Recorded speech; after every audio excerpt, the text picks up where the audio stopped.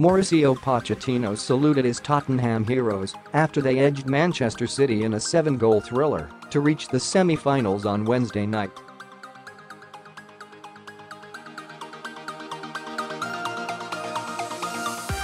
Spurs looked to be heading out after Raheem Sterling scored in the 93rd minute to make it 5-4 to City on aggregate, only for the late goal to be disallowed by VAR.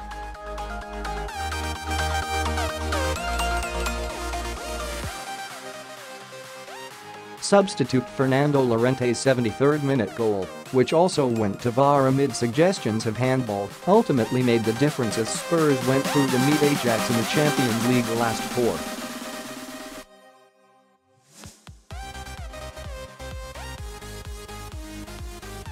Pochettino paid tribute to his players and said, I think they're all heroes and they deserve a lot of praise.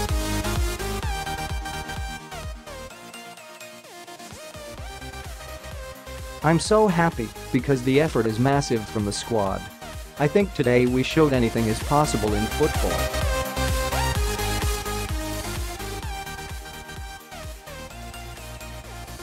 That's the most important thing.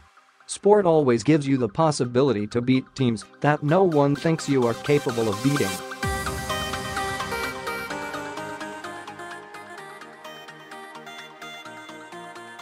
This team has the personality and mentality to believe all is possible. That is a massive achievement for us.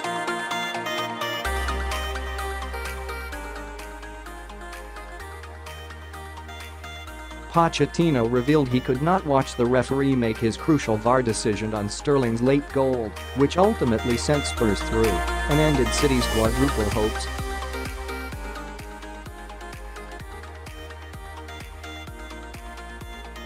I didn't watch. I promise I didn't watch, said Pochettino. You need to trust in VAR.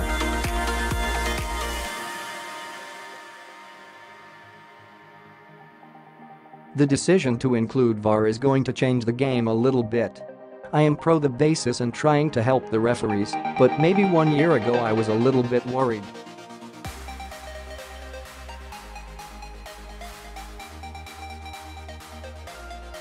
Today my feeling is the same.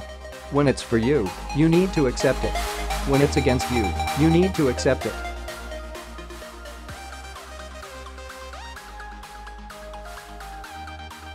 The most important thing now is we are in the semi-finals and we deserve to be there.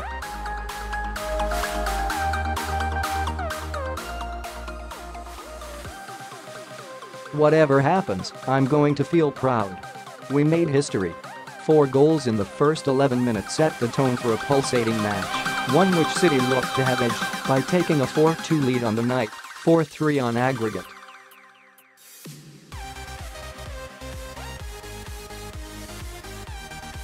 But Llorente's strike proved decisive, sending Spurs to at City's expense, with the pair meeting again at the same venue in the Premier League on Saturday.